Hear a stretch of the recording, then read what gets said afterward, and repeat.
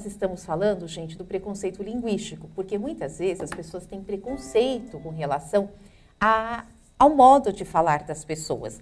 E nós temos que sair desse preconceito, nós temos que repensar, não é mesmo, Verdade, muitas a pessoas... respeito deste preconceito, porque nós temos várias regiões no nosso país e nós temos muito, a nossa língua é muito diversificada, o modo de o falar. O nosso país é enorme e há várias Exatamente. formas de falar a nossa língua dentro, e, da, dentro, dentro, do Brasil. Né? Então nós temos que desmistificar este preconceito linguístico, certo? Porque também preconceito não é só preconceito social, preconceito racial, não, tem preconceito da língua também, do modo de falar das pessoas. Então hoje nós vamos repensar sobre isso. Então o objetivo da nossa aula, um deles, né, será este, ok?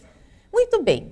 Então, agora, pensando nas variações da nossa língua, pensando no aspecto de preconceito linguístico, vamos observar uma coisa. Nós temos alguns balõezinhos que serão mostrados para vocês, certo? Então vamos lá. Imagine que cada balão simbolize a maneira de falar de diferentes indivíduos. Mas vamos pensar um pouquinho, então, vamos que essa diversidade. Vamos pensar vamos juntos, pensar né? juntos, juntos né? exatamente. Uhum. Então, o que, que essa diversidade de cores e tamanhos, né? e até os formatos, né? o que, que isso tudo sugere? Mauro, o que, que sugere isso? Eu, uma vez eu tive uma aula com a professora na escola, ela deu uma explicação muito legal para mim. Ela falou assim, que a língua portuguesa, e não só a língua portuguesa, vamos pegar a língua portuguesa como exemplo, né? Ela não é um falando, ela é um, mais um, mais um, mais um, mais um. Então, a língua portuguesa só existe com essa diversidade de pessoas falando. E é necessário respeitar a cor amarela, a cor vermelha, a cor azul, é o que representam os balãozinhos, acredito eu. Estou certo, professora? Exatamente, essa diversidade. Então, por exemplo, os balãozinhos representam as diferentes falas. Exatamente. Então, por exemplo, nós temos aqui, no Nordeste nós temos um tipo de fala. Que é esse um. No Sudeste, exatamente. É esse outro um. Então, nós temos, por exemplo, e, e o tamanho também, e, a forma. E dentro do Nordeste, nós temos várias falas diferentes também, Sim. né? Várias formas de falar. Dentro de uma família, dentro de uma cidade, é. né? Vamos pensar numa palavra, gente, é a mandioca. Sim. Por exemplo, existe uma diversidade, uma variação. Em alguns estados, como é. que é chamado? Aipim? Aipim. Aprendi isso aqui com a professora. Exatamente. Aipim. Aipim. Em uhum. outros, macaxeira. Macaxeira. Então, algumas pessoas conhecem a mandioca como aipim. Ah, eu adoro o bolinho de aipim. Verdade. Aí, em outros lugares, ai, eu adoro. Nossa, uma macaxeira, se pegar a macaxeira ali e fritar, fica uma delícia. Sabe o que é interessante? E a mandioca, aí eu vou comer bolinho de mandioca. Então, olha só, para um mesmo, né? É uma mesma raiz, porque a mandioca é uma raiz. Uma olha raiz. só, aula de ciências, viu, gente? Aula, é uma raiz. Uma raiz.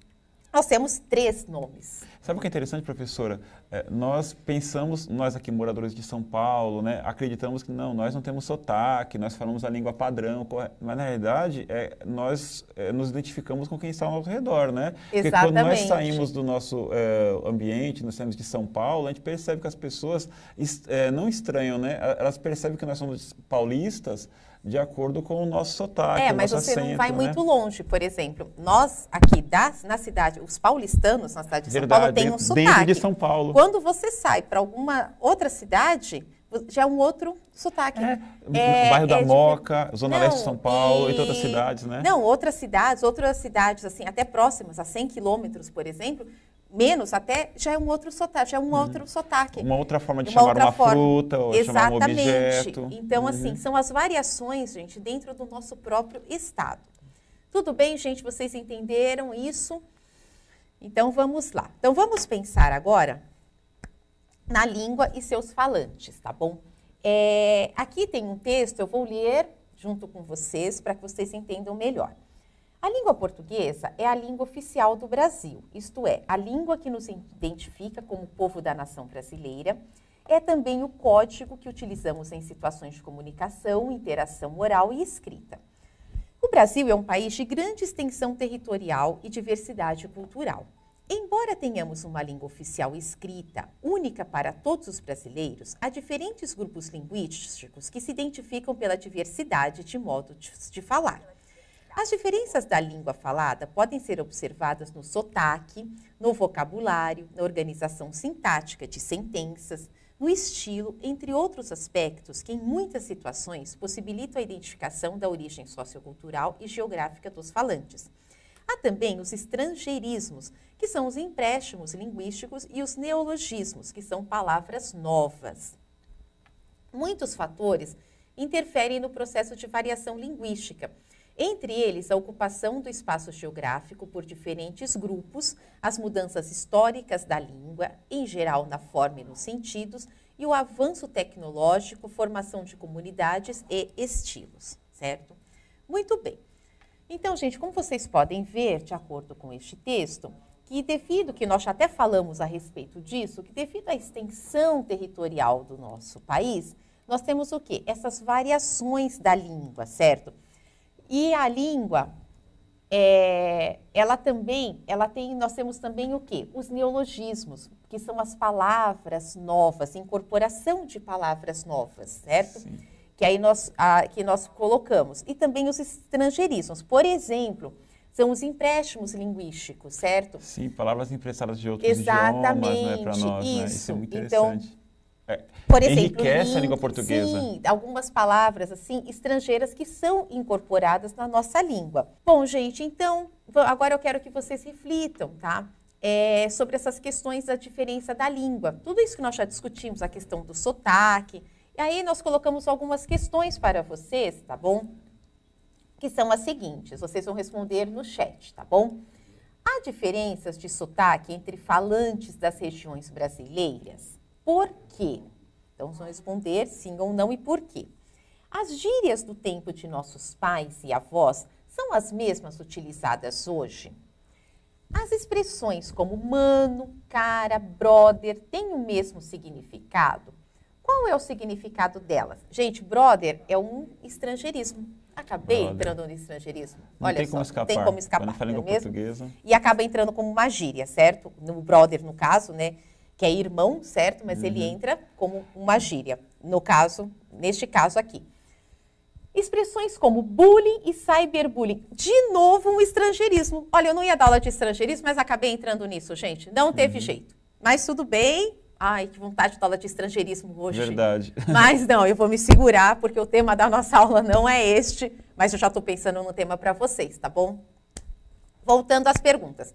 Expressões como bullying, saber, cyberbullying vistas a nossa primeira aula, sempre fizeram parte de nosso repertório linguístico. Vocês se lembram, gente, daquele texto lá da menina que sofreu bullying, daquele podcast que os alunos fizeram a, a campanha contra o bullying nas escolas. Depois o grupo fez uma, uma campanha do bullying no condomínio. Você se lembra disso? Teve até o podcast Sim. na nossa primeira aula. Verdade, né? Exatamente. Muito bem. Então, essas expressões, né, elas sempre fizeram parte do nosso repertório linguístico, vocês vão pensar nisso. Pensando até naquela aula, tá? Expressões como shopping center, outdoor, internet fazem parte do dia a dia dos brasileiros. Será que elas teriam a mesma força comunicativa se fossem utilizadas em português? Como seria, né? A palavra você sempre teve essa forma escrita? Vocês acham que sempre foi escrito assim? Como ela era escrita antes? Como que era? Exatamente, por isso que é importante respeitar as variedades da língua, por conta Sim. que em, certos, em certas regiões do país a gente compõe de uma forma a língua portuguesa, em outras regiões de outra forma, né? Sim, né? É, exatamente. De acordo com a cultura, a, a, forma de agir, a forma de se relacionar, né? Muito é bem. Tudo bem, gente? Entenderam? Se ficou alguma dúvida, vocês podem postar no chat e também deixar anotadinho para o professor de vocês. Agora, gente, eu vou apresentar um cartoon para vocês, tá bom? Vamos lá. Eu quero que vocês observem este cartoon aqui, que ele fala o seguinte. Deixa eu aumentar aqui na minha tela, porque para enxergar melhor. Ele fala o seguinte: vim devolver o passarinho. Ele não sabe falar, sabe de nada, sabe nada, tadinha. Por quê? Algum problema com o passarinho? Ele é tão bonitinho. Ai, que bonitinho. Fio, fio. Passarinho sabe cantar. Fio, fio. Ai, que bonitinho. Fio, fio. Muito bem. Então, agora, vocês vão observar este cartoon, certo? Que ele tem algumas palavrinhas aí, ó. Passarinho, passarinho, bonitinho, certo? Vamos lá. Vamos agora para algumas perguntas. Espero que tenham gostado aí do cartoon. Vamos pensar um pouquinho sobre ele, certo, Mauro? Sim, claro. Vamos lá. Então, por que o personagem do primeiro quadrinho quer devolver o pássaro? Vou só voltar um pouquinho é, aqui no, no cartoon. Vim devolver o passarinho. Ele não sabe falar, tá? Vamos voltar aqui nas perguntas. Então, vamos lá. Observe a fala da garota no segundo quadrinho. Duas palavras ocorrem no diminutivo. Quais são elas? Vou voltar aqui no, no cartoon. Vamos lá. Por que algum problema com o passarinho? Ele é tão bonitinho, certo? Vamos lá. Aí, letra B. Conclua. Por que as palavras passarinho e bonitinho foram escritas como passarinho e bonitinho no segundo quadrinho? Vamos pensar sobre isso. Letra C. A fala da garota, no segundo quadrinho, indica que a personagem não sabe falar a língua portuguesa adequadamente, a personagem usa uma variante linguística de estilo, o autor reproduziu equivocadamente a fala da personagem. Vocês vão assinalar uma das três. E a letra D. O emprego do diminutivo é bastante comum em alguns grupos linguísticos, seja para indicar tamanho, seja para produzir efeitos de sentido de afetividade ou ironia. No cartoon e análise, o emprego do diminutivo tem o mesmo sentido na fala do homem e na fala da garota. Vocês vão comentar. O homem fala, eu vim devolver o passarinho. E ela fala, passarinho, bonitinho. Então, vocês vão pensar sobre isso, certo? Aí eu tenho outra questão. No texto lido, o efeito de humor ocorre porque o passarinho não sabe falar, só sabe cantar, fala como uma garota, só sabe assoviar. Então, vocês vão pensar aí. Né, o efeito, por que, que acontece esse humor no cartoon?